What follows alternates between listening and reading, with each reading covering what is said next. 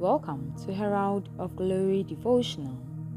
Today is Thursday, April 28, 2022. And the Father's word says, Put your body in subjection. 1 Corinthians chapter 9, verse 27 reads, But I keep under my body and bring it into subjection, lest that by any means, when I have preached to others, I myself should be a castaway.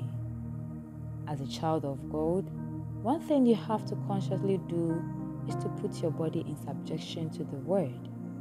There are Christians who cannot undergo such a spiritual exercise as fasting. They just cannot fast for a reasonable period of time. Why? They are too lazy. Once it is time to fast, their bodies will not let them. They start struggling. That is when they suddenly remember the cake that has been in their fridge for weeks vicarious appetite for food suddenly wells up in them, and sustaining the fast becomes a struggle. But the truth is, anytime such things like this happen, your heart will always talk to you. It is just whether or not you will listen to the voice of the Holy Spirit in you. The Apostle Paul, in our opening verse, said, But I keep under my body and bring it into subjection, lest that by any means when I have preached to others, I myself should be a castaway. And this is in 1 Corinthians chapter 9, verse 27. Every time there is an opportunity for a spiritual exercise, take advantage of it.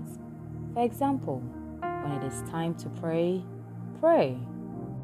Refuse to feel tired or sleepy.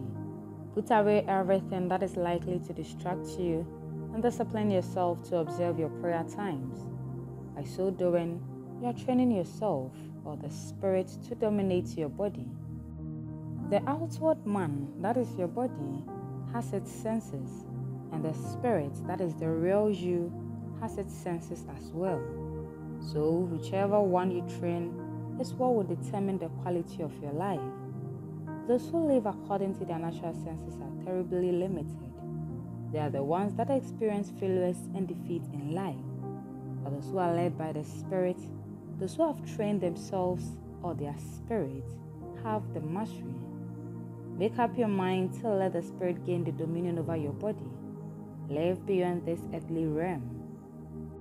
Please let's take the declaration together.